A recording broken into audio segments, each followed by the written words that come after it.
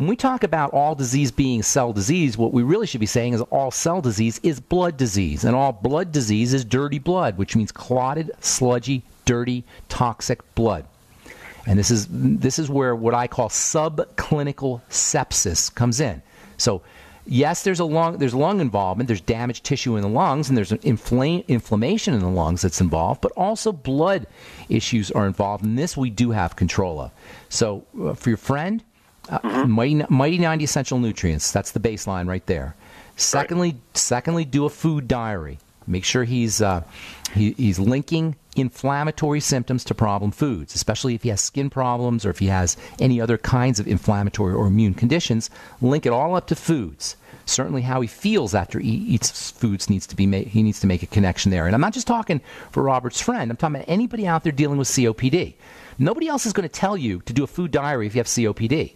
Nobody else is going to tell you about the link between the digestive system and the lungs. This is a, for the life of me, I don't know why people don't, uh, healthcare professionals don't make this connection.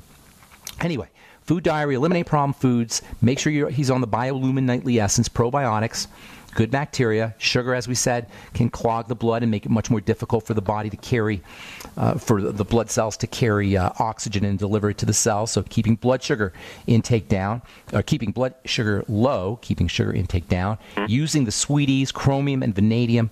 Uh, the healthy start pack will get him his beyond tangy tangerine, but extra B vitamins wouldn't help, wouldn't hurt.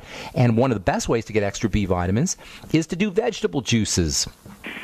And vegetable juices are also very filling and vegetable juices are also very satisfying. And so it's a sneaky way to hack into your drive for sugar by using uh, vegetable juices, fi- uh, upping your fiber intake. Plus, the electrical nutrients in combination with the water will jack up your electrical energy and make it easier for your body to process sugar. Thirdly, make sure he's calming the body down.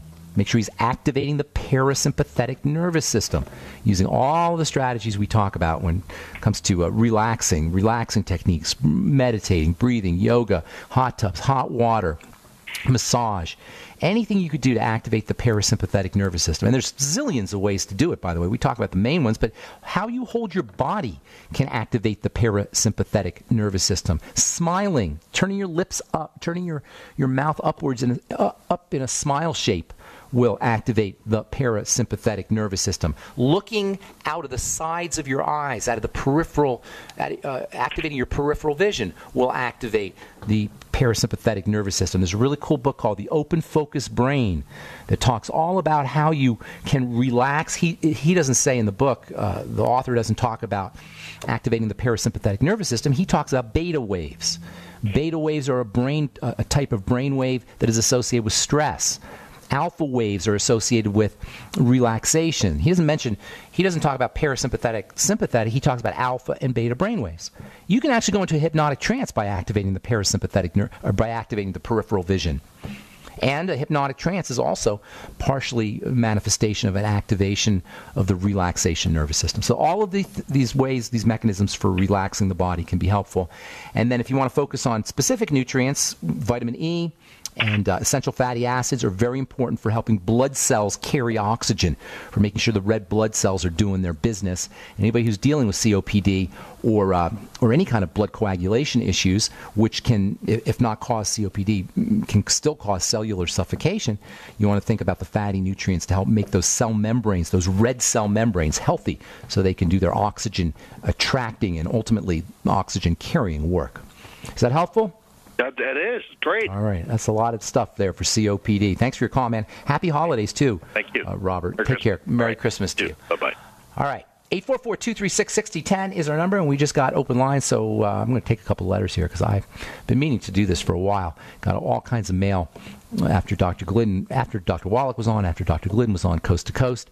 Uh, Jim writes, uh, I recently learned about you. I've been getting uh, bad, he has, two, he has stenosis, two bad discs, bone spurs on his vertebrae from head to tail. That means his his bone is starting to change. His bone is starting to degenerate. So what do the doctors do? This is what he's on. Uh, they want him to do steroid injections. Well, he refused, but he's on hydrocodone, which is Vicodin, pain pill. He's on Motrin, which is an anti-inflammatory. He's on muscle relaxants. Oh, he's on an antidepressant too. Great. Uh, let's see. He, he says he only uses the, the, the Vicodin and the Motrin occasionally. So this is a guy who's in pain. But he's in pain because his body's falling apart his bones are starting to break down and degenerate. Now, if you go to the doctor and tell him about you got a back problem or bone spurs, he's going to try to treat the bone spurs and the back problem. And there's no way to treat those things because they start off in the blood. That's the end. The bone spurs are the body's response to the dirty coagulated blood, to the uh, nutritionally deficient blood, to the high blood sugar. This is just a classic example of the triangle of disease at work. This is a gentleman whose body's falling apart. His bones specifically are starting to degenerate, and his and his uh, uh, discs as well. This is not complicated. It's very simple. So, what Jim has to do is number one, focus on digestive health because if he doesn't absorb stuff, he it doesn't matter what he, it doesn't matter what he takes. He's got malabsorption. It doesn't matter what supplements he takes. So patch up the gut. Eliminate problem foods, do the food diary, make sure you're supporting the microbiome with the Biolumin Nightly Essence. Use your Fucoid Z, it coats and soothes the digestive tract, facilitating healing and reducing the, the, the symptomology and the signs of leaky gut syndrome. Fucoid Z or Z Radical, which has a little sugar in it. Glucogel caps can help as well in this regard. And of course, aloe and noni contain long chain sugars that can also help coat and soothe the digestive system, likewise, bone soup. Make sure you're using the Healthy Start Pack. That always is, goes without saying. Throw in the Sweet E. So, to stabilize the blood sugar, keep the blood sugar down, keep inflammatory foods down, eat as little as possible after we eat anything. Inflammation sparks up, the immune system is activated or woken up. That's called postprandial, post eating inflammation and then make sure you're relaxing the body. Now, in the case of uh, degeneration of the bone and the skeletal muscle, they work together. You need to do resistance training, or you should do resistance training. Resistance training, a little burst of stress in combination with rest, activates building and allows the body to utilize nutrients. The body is much more likely to utilize micronutrients and even macronutrients, protein, fats, and carbohydrates when it's under a little bit of intense stress. A little bit. Not long term chronic stress, but a little bit of intense stress, the kind you get by uh, uh, doing a two minute run on, the, on a treadmill. And you don't need a lot of exercise 10 minutes a day, five or 10 minutes a day, but it's the intensity that counts. All right, I'm Pharmacist Ben. Thanks for listening, friends. We'll be back at you after the holidays.